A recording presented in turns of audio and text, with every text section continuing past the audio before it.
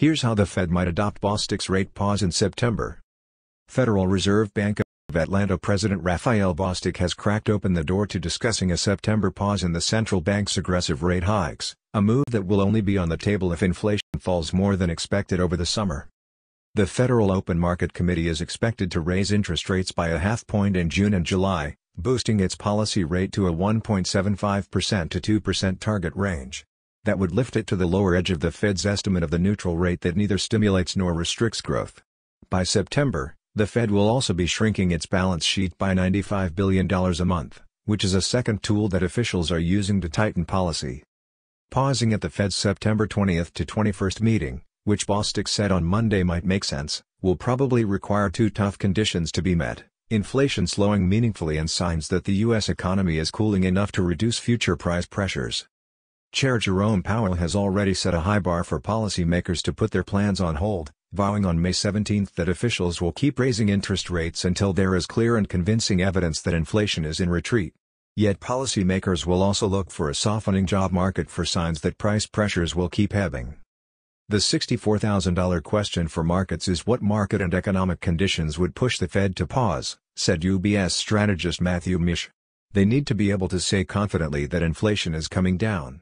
Obviously they want to see clear and convincing evidence inflation is falling. But when you look at the historical record, growth matters too. Falling growth will help lower inflationary pressures. The Fed normally doesn't pause until its target interest rate is in excess of annual inflation, UBS strategists led by Mish found after reviewing 11 times the Fed has paused a rate normalization cycle since 1960. With inflation by the Fed's favored measure at 6.6% over the past year, prices would need to fall rapidly to meet that condition.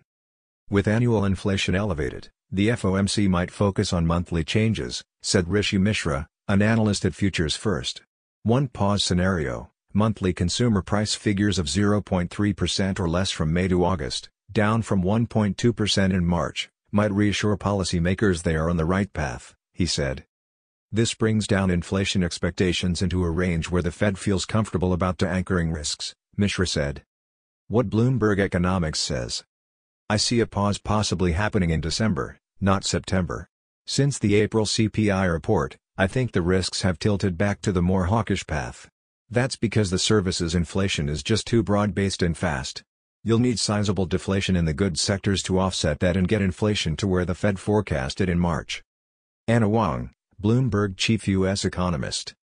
A decline in the 10-year Treasury yield, which can be seen as a signal for inflation expectations over the next decade, could also contribute to Fed officials getting comfortable with the price outlook, said Steven Ricchiuto, Mizuho Securities chief U.S. economist.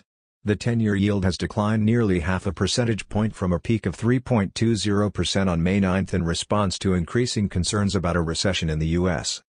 While the Fed hopes to avoid a downturn, a slowdown will be necessary for a pause, said Ricchiuto adding there are already corporate reports hinting at a slowing job market. Walmart Incorporated and Target Corporation are among companies whose stocks have swooned in response to lower forecasts. They will react to a rising unemployment rate, especially if inflation is starting to come down, Ricchiuto said. You will start to see people coming into the labor force having more difficulty finding jobs. That is how it begins. Fed officials, for their part, have said they wouldn't be upset by a small rise in unemployment from 3.6% near a 50-year low, and Powell has described the job market as tight to an unhealthy level. Investors will get an updated view of how the FOMC saw the interest rate path with the release of minutes of the May meeting at 2 p.m. New York time. They are likely to show widespread support for continued rate hikes in coming meetings to get policy to a neutral rate. Because monetary policy works with a lag, the Fed might choose to pause with an incomplete picture of the outlook.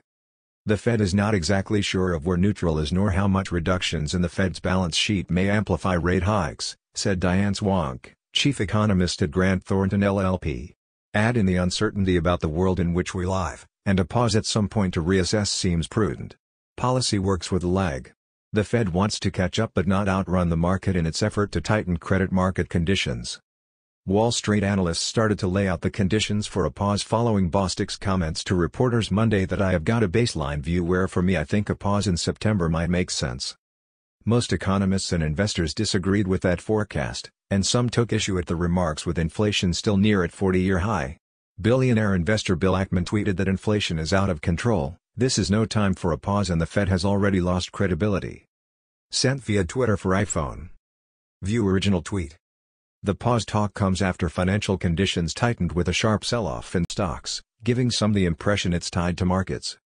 Changing tack on monetary policy because of financial asset volatility while inflation is still well above target would be a major, major threat to their credibility, said Jefferies economist Thomas Simons. If the labor market starts to really crack, then we might have a different story. But that hasn't happened.